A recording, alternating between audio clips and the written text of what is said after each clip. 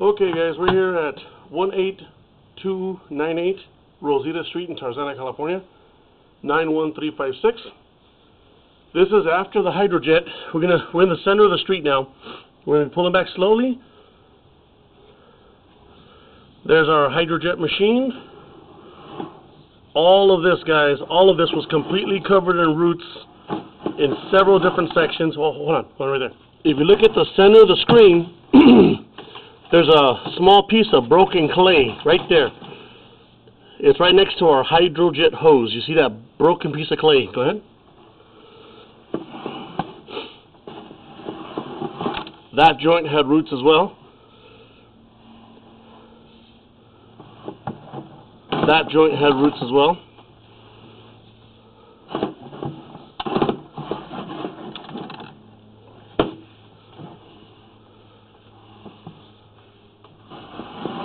That root, that one had roots.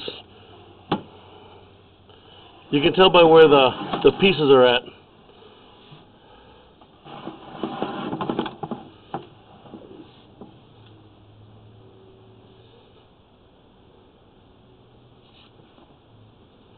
Okay, hold on. That's a disconnected pipe, guys.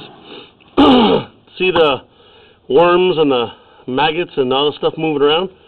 That is a, dis a disconnected sewer line, and this looks like our 4x6 transition. That's where all the dirt was coming from. Yep, it's our 4x6 transition.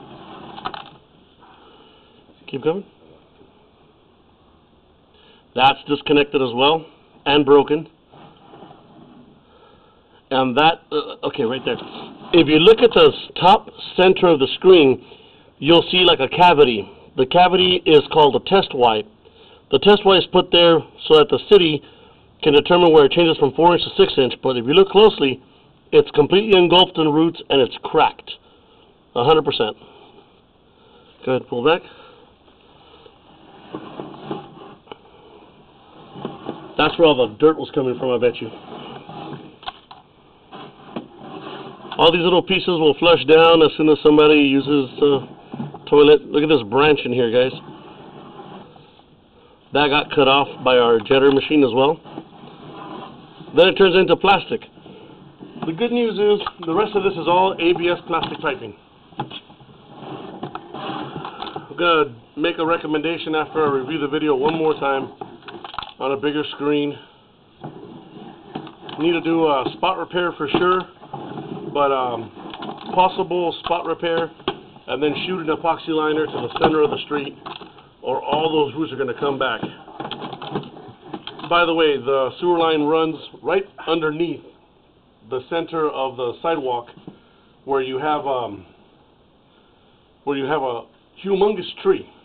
So the tree has penetrated the sewer line. The ABS plastic piping now, all of this is underneath the home and we're coming back in reverse.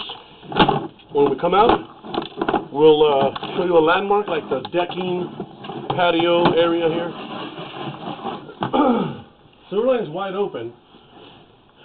Recommendation is a spot repair and possibly an epoxy liner to the center of the street. But like I said, I'd like to review it one more time.